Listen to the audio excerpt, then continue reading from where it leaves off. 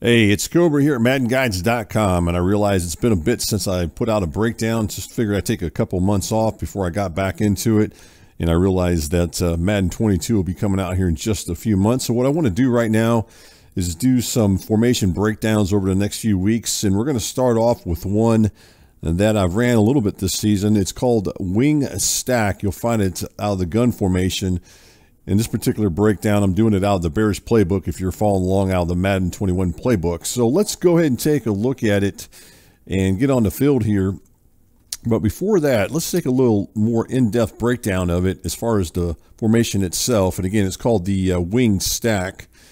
And if you look at it, one of the cool things about this particular formation is that even though it's in the gun formation, you have the advantage of having basically a base type formation or personnel. And right here is what I mean by that. So if you look at the personnel right here, what you're going to have here is two tight ends and then a running back along with two receivers. So you end up having a personnel group of 12. So what's nice about that is you can audible in between this particular formation in a gun formation, and then you can audible down into a more traditional uh, formations, such as like an I formation or something like that. And that's going to allow you to, you know, kind of have your opponent kind of guessing what you're going to be doing. So that's kind of cool about that. Also, as you can see, it's a two by two alignment. So meaning that you have two receivers lined up on this side of the field, and then you have these two tight ends lined up over on the right. So you get a two by two. And then if you look at it, one of the other things is it's got some packages involved in it. As you look at it, you got the uh, halfback sub, the wide receiver flip, the tight end flip, backup QB, the fullback wing, and then you got these two right here, which is called 6 O line. Now, I'm not sure what the difference between these two are, but because what I've seen on it looks like it's basically the same thing, but basically you get six offensive linemen, one replacing one of the tight ends. So, what I want to do here is I want to go ahead and get on the field here. And I'll just go ahead and show this to you as far as some of the things you can do with this particular formation.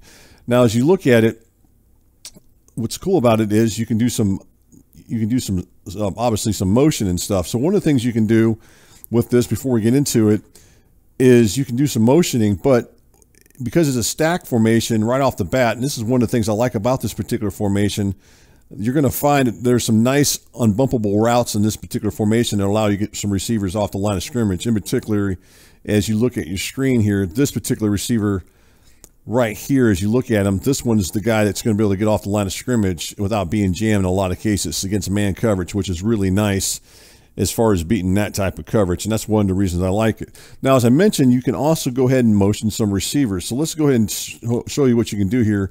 You can always motion him out if you want. That's one of the things you can do. Uh, another thing you can do here as you look at it, you can motion this guy to the other side. The same thing with that other receiver, the one I just motioned to the outside to the left. You can also motion him out to the right. So then right here, as you look at it, you end up getting a three by one. So you get three receivers lined up to the right, which including the two tight ends, and then the other receiver tight to the left as you look at your screen there. Let's go ahead and put him back into the uh, back to where he belongs. And then we have this. What we can do here is we can motion the tight end too. In this case, we can motion him over and then we'll have him lined up here in the wing to the left. So now again, we have a three by one. As you look at it, you have three receivers to the left, and then you have one receiver to the right. And that would be the tight end as you look at your screen here. Again, here's the tight end. He lines up right here. And then we have these uh, three receivers that are lined up on this side. So that's kind of cool there. Another thing you can do is you can motion him, rather than motion him to this direction there, you have the advantage of motioning them out wide as well. So you can motion them out wide and you still get that two by two, but now you have a tight end lined up to the outside. If you got an elite tight end, you can get him matched up, maybe maybe against a linebacker, or someone who's not quite as uh, sorry about that, who's not quite as uh, able to cover that tight end on the outside. For example, maybe if you got uh, one of the top ones in the game like Kelce or someone that, if you're running this formation from that playbook, then you could have him maybe run a slant. And he could get uh, you know, he can definitely get open. Something else you can do here is you look at it, you can motion this tight end out to the outside as well. This is the other tight end. Or again, you can motion him over to the left and you can have this look right here. So basically you just, it's the same look as if you were to motion the other tight end, except it's just a different tight end. So you still get the wing onto the left as you look at your screen and you get the three by one formation.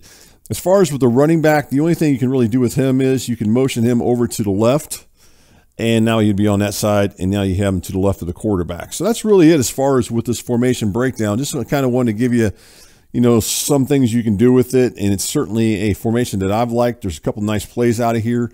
Maybe later on this season or into Madden 22, we'll start breaking down some plays from this particular formation. But it's certainly uh, one I like to run, and hopefully it's something that you guys can take a look at as you guys ain't already started running it already for this season. So this one is called the gun wing stack. We're using it out of the Bears playbook.